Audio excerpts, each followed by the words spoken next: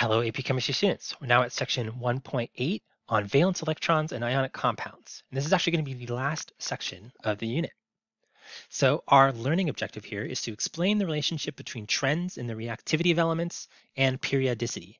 So we're going to be leaning on a lot of the concepts that we learned in the last few slideshows. So valence electrons, as we know, are the most outer shell electrons um, and they're the most important when it comes to bonding because when a chemical bond occurs, electrons are being transferred or shared between two elements. So that means that the electrons in the outermost part of the electron cloud are the ones that are going to be most likely to do that. And some atoms are highly electronegative, meaning they want to pull electrons towards them. And others have low ionization energy, which means they're easy to remove electrons from. So there is sort of a, a, synergy here where atoms that have high electronegativity and ones that have low ionization energy have a tendency to react and bond. And this is the foundation of what we call an ionic bond. So in the example below, we have sodium, which is a metal with low ionization energy. Um, it has one electron in its valence shell. And then chlorine, which is a nonmetal with high electronegativity, which is uh, missing one electron in its outer shell. That means there's going to be a tendency for the electron from sodium, represented by the pink dot here, to be pulled away from sodium and join the outer shell of chlorine. And this is something that happens very often between metals and nonmetals because of that relationship between highly electronegative and low ionization energy. This is also driven by the fact that electrons or uh, atoms can get more stable once they have full valence shells. So the sodium only had one valence electron. And for the sodium, at least in the case of the third period, uh, they're going to get a full valence shell by getting eight. So sodium would have to gain seven to achieve this, which is unlikely to happen. So it's more likely for it to lose one so that the shell below is now full with eight. And the chlorine, since it has seven valence electrons, only needs one to get a full shell. So it's going to be uh, highly likely to pull an electron towards it. And this uh, this ionic bond is further strengthened by the fact that the sodium becomes a cation. It loses one electron, so it becomes positive, and the chlorine becomes an anion, and it gains one electron to be negative. So then there's also a sort of electrostatic Coulombic attraction between the, the positive sodium and the negative chlorine. And you could see that um, they're going to get a noble gas configuration once they become uh, uh, full full valence shells. So the sodium here the Bohr model looks almost identical to the one for neon. And the chlorine one, um, I don't have it up here, but it would look identical to the one for argon. And we both know that neon and argon aren't reactive, so they're already stable in the form that they're in. So it becomes sort of like a, a benchmark of stability for other elements. Now, the ratio in which these elements combine to make ionic compounds is going to be based off of how many electrons they have in their valence shell and how many they need to get a full valence shell.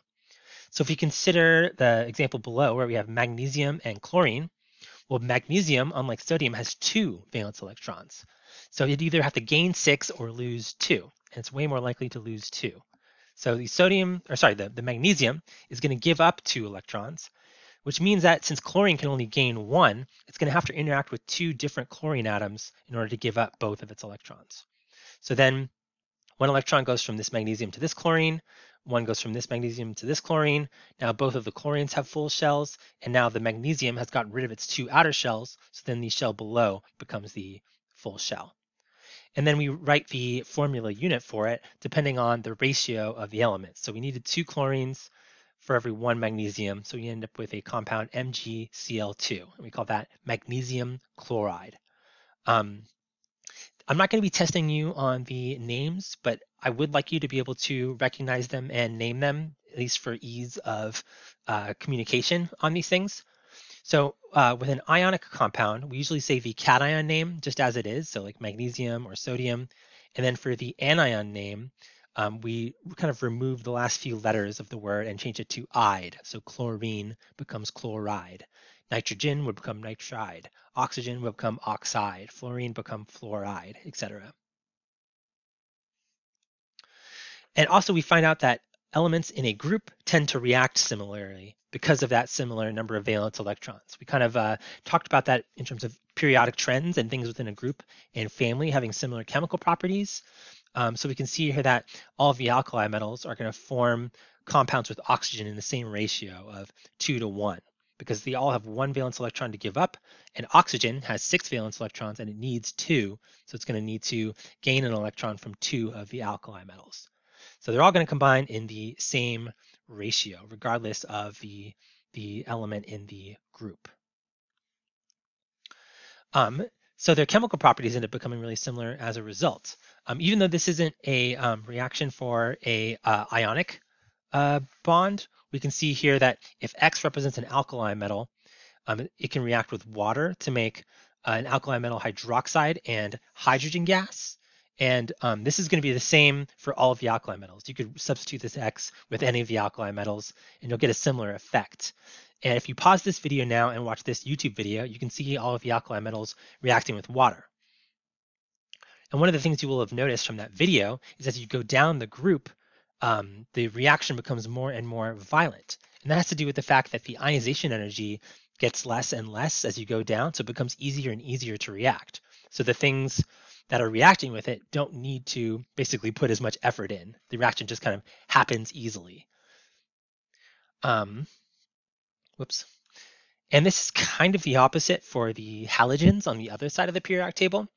We know that um, for fluorine, chlorine, bromine, and iodine, as we go down the group, the electronegativity is, is going to decrease because the, the, the size of the atoms gets bigger and bigger.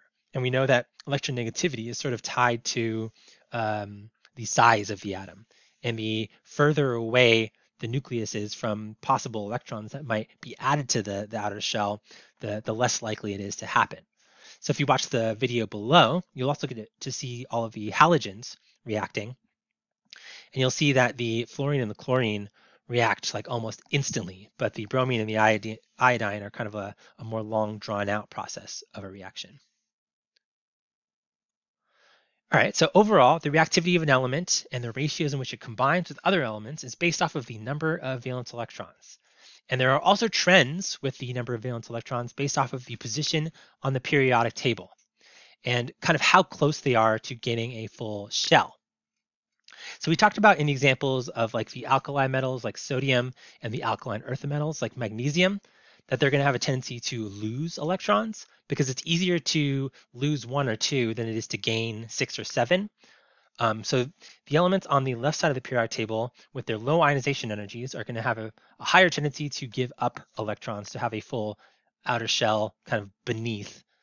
And the things on the right side of the periodic table, the ones that are only like one, two, or three electrons away from getting a full shell, are going to have a tendency to gain electrons. So the ones that lose electrons become positive. So the alkali metals become plus one. The alkaline earth metals become plus two. The halogens become minus one. Uh, oxygen and the similar elements become minus two. And nitrogen and similar elements become minus three. Um, oh, I also forgot to mention boron and aluminum, which make plus three ions. Now, uh, the carbon group, carbon, silicon, germanium, tin, lead, um, uh, with the exception of lead, and tin, these other three don't really make uh, ions because if you think about a 4 plus or a 4 minus ion, both of them are kind of equally unlikely. It's it's kind of rare that you're going to have an ion that's formed with four electrons being gained or lost. Um, so these elements tend to form more covalent bonds, but we'll talk about that in the next unit. Um, but based off of the periodic table, we can generally predict what value the charge is going to be for an ion based off of its position and how many electrons it's going to gain or lose to get that full shell. Um, and the transition metals, in terms of this trend, um, it's a lot more complicated. I showed examples of that with the iron 2 plus and the iron 3 plus being more related to the sort of subshell interactions. Um, so those are much, much harder to predict the charges of, and you're not going to be super held accountable for that. So just know that the transition metals are harder to predict because they can form different types of ions. Um, also, I mentioned this earlier, but with the, the carbon elements, they form covalent bonds, meaning they're sharing electrons rather than taking them, but they at least still form in a predictable pattern. We know that carbon having four valence electrons is would either need to gain four or lose four to get that full shell. So it's going to sort of share four. So carbon is going to have like a, a, a, one to four ratio with things that have one electron, um, or like a one to two ratio with things that you know gain two electrons, like sulfur, for example. All right. Um, so if you're going to try to figure out what an ionic compound's uh, formula is, first you consider what kind of ion they're going to become, if they're going to uh, lose electrons or gain electrons. And let's do an example. So say aluminum sulfide. This is going to be an ionic compound formed between aluminum and sulfur. We know based off, based off its position on the periodic table that aluminum is going to form a 3 plus ion and sulfur is going to form a 2 minus ion. So 3 plus and 2 minus are going to attract each other, but they're not going to attract each other one to one because if 3 plus and 2 minus joined up, you'd still have 1 plus left over. And sort of the goal of making an ionic compound is to make one where the charge is neutral. So we need to find the lowest common ratio of these two things. So for 2 and 3, the uh, lowest common multiple is going to be 6. So that means that if we have two aluminums, we're going to have 2 times 3 to make 6 plus, and then three sulfurs, we're going to have 3 times 2 minus to make 6 minus, then the 6 plus and the 6 minus are going to cancel each other out. So that means that the formula unit for this compound is going to be Al2S3. There's also a quick trick that can help you predict the formula of ionic compounds using the charges.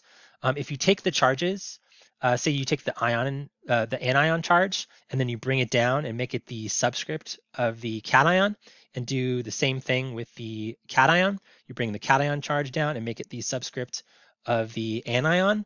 You'll generally get the same effect.